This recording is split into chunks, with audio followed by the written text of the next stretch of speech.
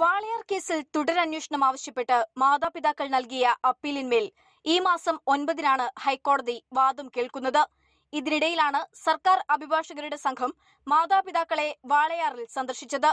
Special government leader Nicholas ജോസഫിന്റെ നേതൃത്വത്തിലുള്ള സംഘമായിരുന്നു എത്തിയത്.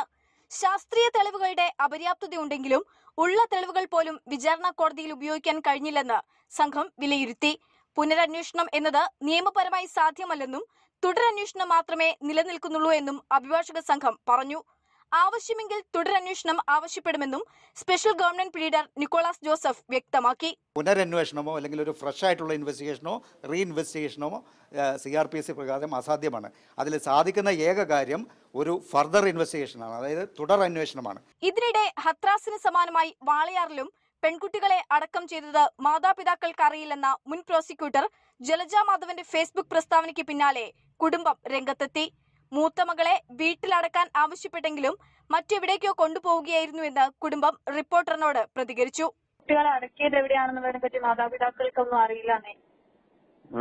അത് ശരിക്കും നിങ്ങൾക്ക് അറിയില്ലേ അത് എങ്ങോട്ടോ? കഞ്ചിക്കോട് എങ്ങോട്ടോ കൊണ്ടുപോകാൻ പക്ഷെ പോയ കാര്യം ഞങ്ങൾക്ക് അറിയില്ല അത് കഞ്ചിക്കോടാണോ? ഇനിയിപ്പോ വേറെ എവിടെ കൊണ്ടുപോയോ ഞങ്ങൾക്ക് അറിയില്ല. ഞങ്ങൾ പോയിട്ടില്ലല്ലോ അവർ നേരിട്ട് അടക്കിയ? നിങ്ങൾ കൊണ്ടുപോയിട്ടൊന്നും? നിങ്ങൾ കണ്ടിട്ടേ ഇല്ല. കണ്ടില്ല രണ്ടാമത്തെ മോളെയോ?